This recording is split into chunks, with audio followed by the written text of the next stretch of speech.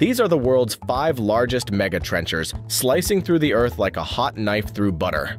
Eagle 9700, a colossal Californian marvel equipped with a roaring 275 horsepower cat engine, digging 9 foot deep and 30 inches wide. A 33.5 ton giant of precision and power.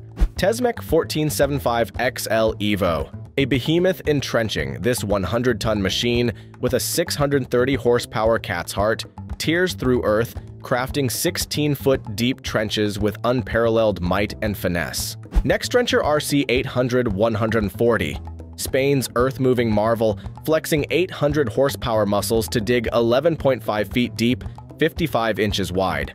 A 40-ton powerhouse blending precision, power, and engineering excellence. Tesmec 1675, a Titanic trencher boasting a 760 horsepower beast of an engine, it carves massive 24-foot depths or 72 inches widths. With double or triple chain, it tames the toughest terrains effortlessly.